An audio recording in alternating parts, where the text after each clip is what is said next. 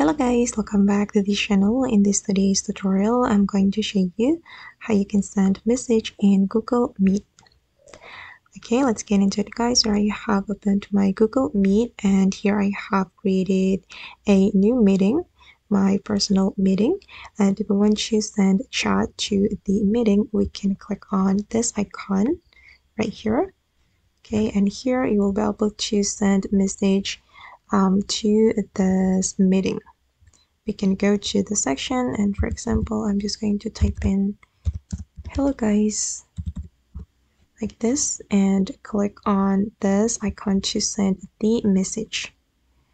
Okay, and anytime you get message from other participants, you will get the notification right here.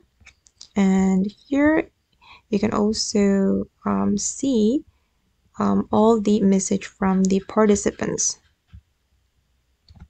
Okay guys, and that's how we can send a message in Google Meet. I hope this tutorial will be useful for you. Thank you so much for watching and see you in the next video.